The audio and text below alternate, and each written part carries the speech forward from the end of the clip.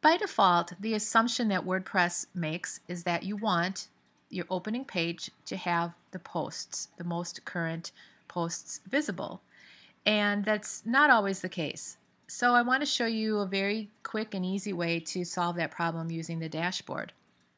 I'm logged into the dashboard and I'm going to create, I have a number of pages already. So as I look under pages, at all pages,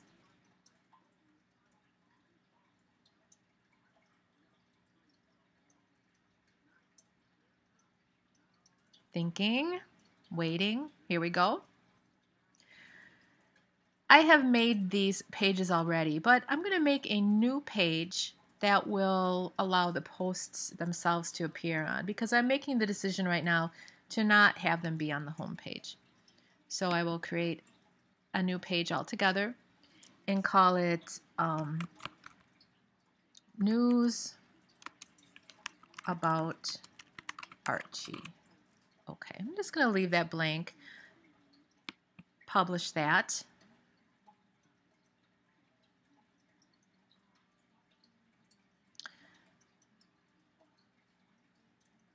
publish that.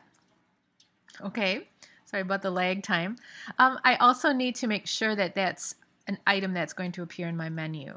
So I'm going to jump over to menus and I have this um, you know main nav menu that I've created and, and um, I'll choose news about Archie, click the add to menu button and that's fine. It can stay right in that order. So I will go ahead and save that menu. Okay, well going into the settings category then, in the reading,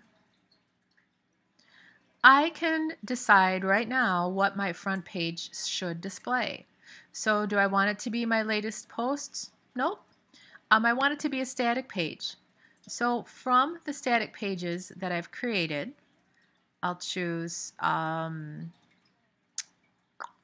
About Archie. And now my front page will, when I reload it, will be about Archie. Well, then where do I want my posts to be? And I can say, well, how about news about Archie? Now here's the thing. If your if your WordPress site is really just a site and the blogging is not even a component that you're interested in, then just um, you know, leave that blank. You don't have to have a page of posts at all. It can just simply be a, a dynamic site that doesn't have a blog post. But um, since I've created that page, I will say news about Archie, save. And now when I come back and um, you know view my page for the first time, here's my I love Archie a lot website. This is my home page. This is the information that's on my home page currently and I have news about Archie, and this is where my blog posts will be. So in the future, if I were to come in to posts, add a new post,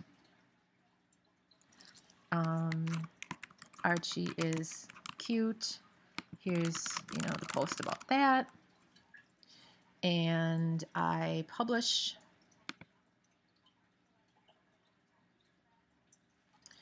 Okay.